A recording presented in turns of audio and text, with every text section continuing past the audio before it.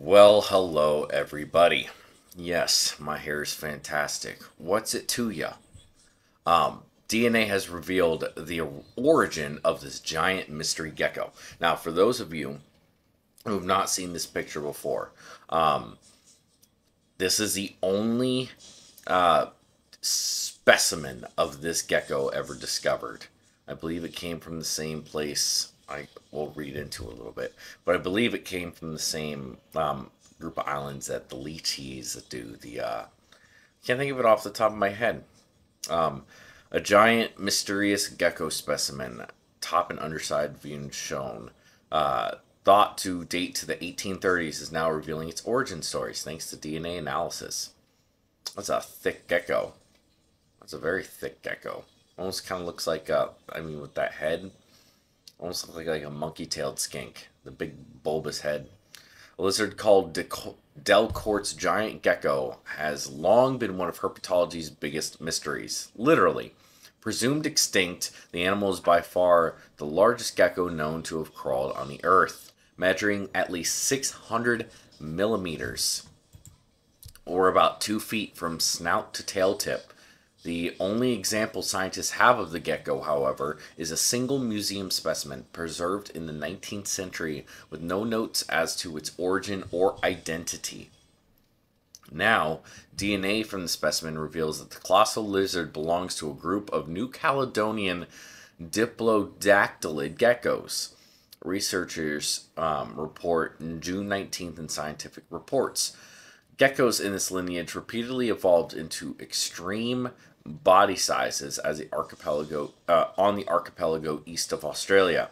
Compared to all other geckos, it's monstrous, says Matthew Heinicke, um, an evolutionary biologist at the University of Michigan Dearborn. It happens to be a lineage where evolution of gigantism wasn't a one-off event.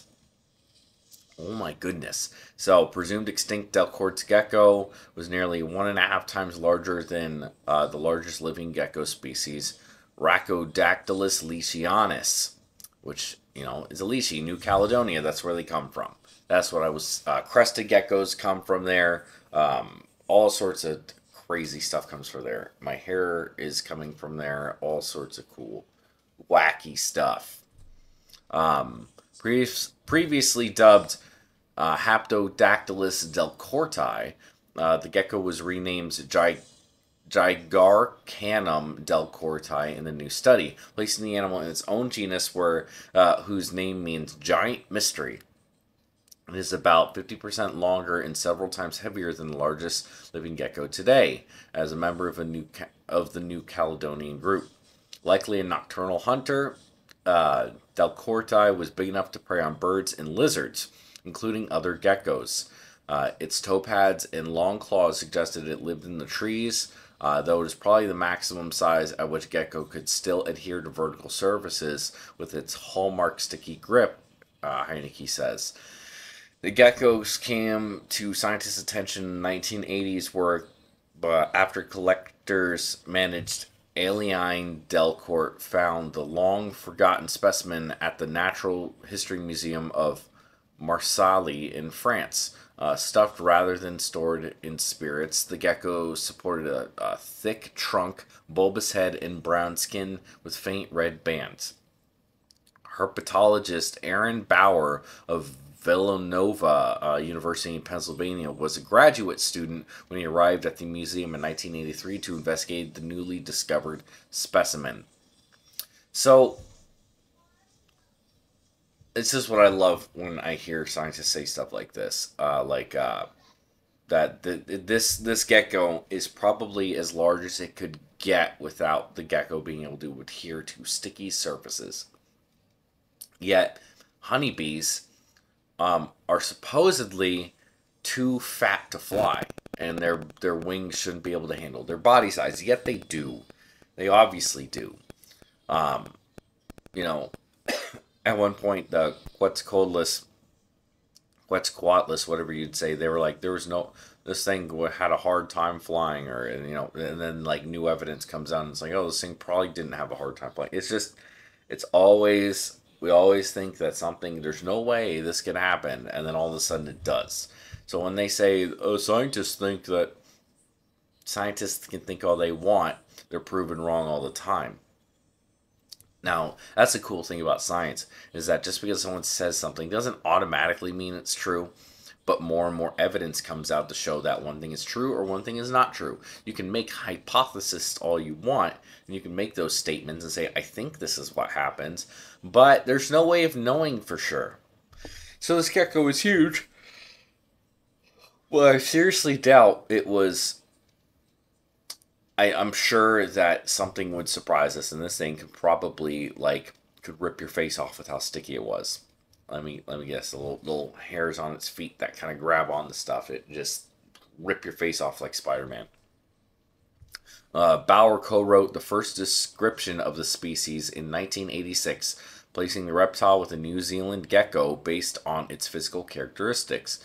He also suggested that because of its coloring and size, the gecko could be a Kiwa Kauai, a huge arboreal lizard from folklore of the indigenous Maori people. Uh, since then, techniques for retrieving and, um, analyzing archival DNA have accelerated, allowing scientists to glean new information from degraded museum specimens, including extinct species such as the dodo and the thylacine, also known as the Tasmanian tiger. Um, Heinicke Bauer and colleagues revisited the mysterious giant gecko, um, extracting and analyzing DNA from one of the, one of its femurs. That's genetic material rewrote G. delcourt's uh, origin story, showing that it is not even closely related to New Zealand's geckos. The diplodactylid geckos of New Caledonia and New Zealand are separated by about 45 million years of evolution. The team's findings turn things on their head as gecko geeks worldwide have long associated G. delcourti with New Zealand, says Paul Dowtree, uh, Doughty, uh, herpetologist at the Western Australian Museum in Perth. Uh, but this is the thing that these precious museum specimens with new technologies, they can give up new secrets. Exactly. So this thing was in a museum.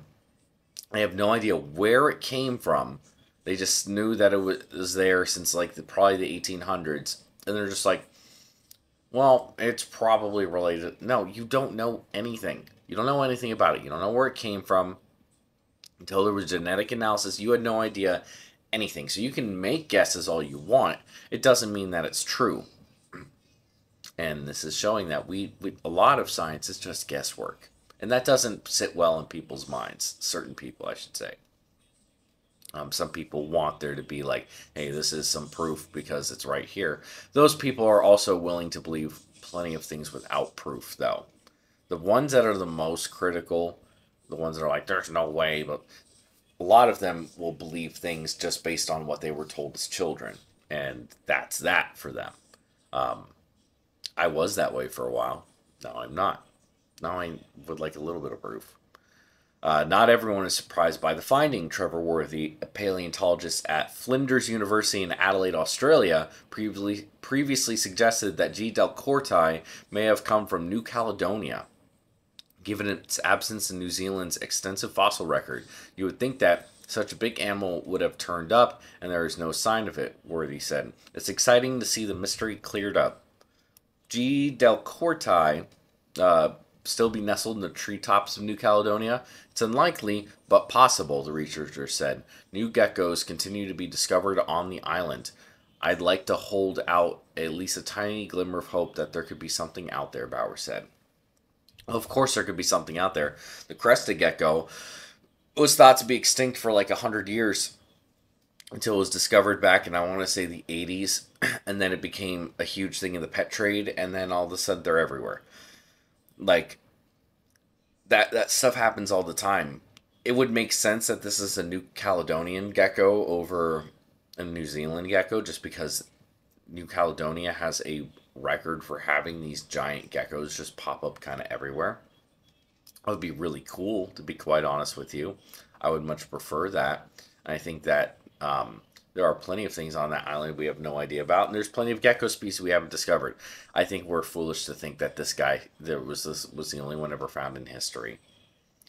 Um, That's a cool picture from 1980. That that same. That's the only specimen ever found of it. That thing's huge. That thing is like the size of a beaded lizard, but it's a gecko. Can you imagine a tokay that size? A tokay that size would rip your fingers off. That thing could do some serious damage. Geckos get mean when they get big, even though they're soft bodied. Those things can pack a punch. The size of that thing's head, that thing could probably bite your finger off without even thinking twice. That's awesome. Honestly. Let me know what you think down below. Do you think we're stupid for trying to believe that we know everything? Or do you think that, or do you even think this thing is still out there? Do you think it's gone? I would like to hear your comments down below. Thank you for watching. Like, comment, subscribe, all that good stuff. Stuff. If you want to be in my Discord, check out my Patreon. I will have that in the description down below. And I'll see you on the next one. Stay wild.